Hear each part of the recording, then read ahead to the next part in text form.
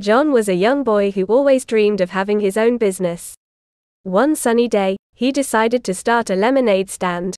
He thought, this is a simple business, perfect for a beginner like me. First, he made a list of things he needed lemons, sugar, water, cups, and a table.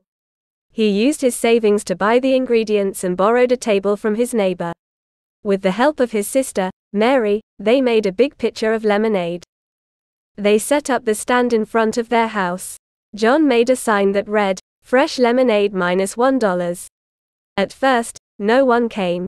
John felt a bit discouraged. But Mary said, Let's be patient. Someone will come soon.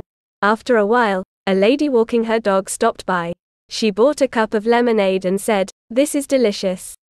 Word spread quickly, and soon, many people came to buy John's lemonade. By the end of the day, John had sold all the lemonade and made a good profit. He learned that starting a business requires patience, hard work, and a positive attitude. He was proud of his first business venture and was excited to try new ideas in the future.